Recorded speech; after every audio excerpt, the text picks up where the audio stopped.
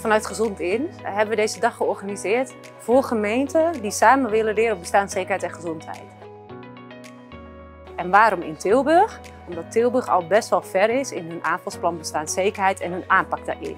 Nou, ik denk dat het heel belangrijk is dat je als bestuur je bewust van bent dat het belangrijk is dat je doet wat nodig is. Dat je elke keer opnieuw luistert naar wat de burger vraagt, de inwoners van de stad, wat zij aangeven, daarop anticipeert en vervolgens de professionals de ruimte geeft om daar een antwoord op te geven. Wat mensen die niet in armoede leven of geleefd hebben moeilijk vinden om te begrijpen, is de emotionele kant van armoede.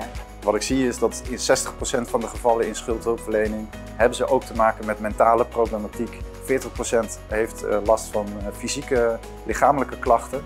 En die twee die werken zo nauw op elkaar in dat je, als je gezondheidsverschillen wil aanpakken, dat je dus altijd met een integrale bril moet kijken. En ik vind het heel goed dat deze week er is, niet alleen voor de aandacht, maar ook voor het besef van de complexiteit en de veelvuldigheid ervan. Het gaat erom wat jij en ik gaan doen. En ik geloof dat het daarom heel succesvol was. Ik heb ook al heel veel positieve reacties terug gehad, dat ze er echt iets aan hadden gehad. Omdat je heel snel de diepte inkomt met waar precies de angels liggen, eh, wat er wel goed kan werken, zodat gemeenten dat ook echt van elkaar mee kunnen nemen. Wat ga jij morgen doen? Wat ga ik morgen doen om de ander te zien, de ander bij de hand te nemen of mijn hand te reiken? Wij willen echt van betekenis zijn. We willen leren aan en van elkaar. Ja, en dan krijg je gewoon een energieke dag.